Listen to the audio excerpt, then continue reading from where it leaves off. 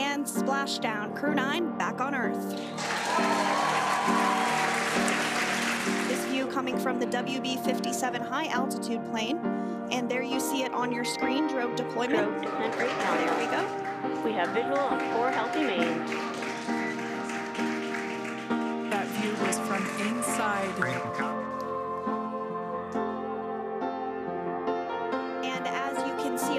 Screen, we have visual confirmation of splashdown.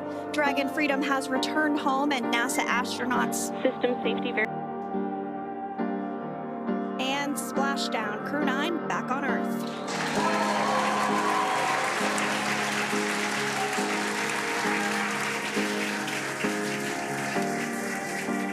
Boys, This view coming from the WB 57 high altitude plane. And there you see it on your screen, drogue deployment. drogue descent rate nominal. Back to planet Earth. Go for recovery personnel to approach. Expect personnel alongside in the next few minutes.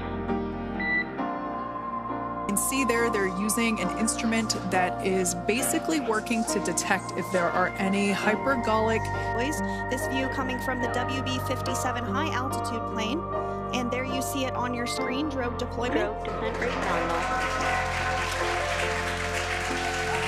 You can hear the crowd here. Two healthy drogues. And splashdown. Crew 9 back on Earth.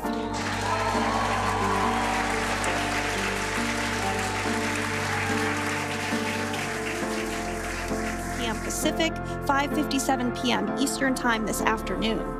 Approximately 17 hours prior to splashdown, Dragon autonomously undocked from the International Space Station, completed a series of departure burns or vapors, come out from the spacecraft. They'll also place harnessing around the spacecraft that are required in order to lift it out of the water.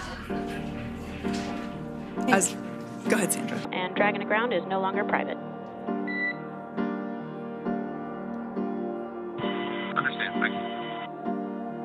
Upwind of the spacecraft. The two fast boats have very specific roles. Here we go. We have visual on four healthy mains. That view was from inside. Freedom Company. That view was from inside one of the buckets where And splashdown. Crew 9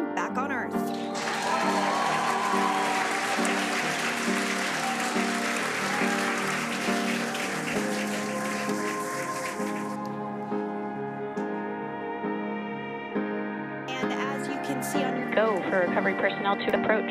Expect personnel alongside in the next few minutes.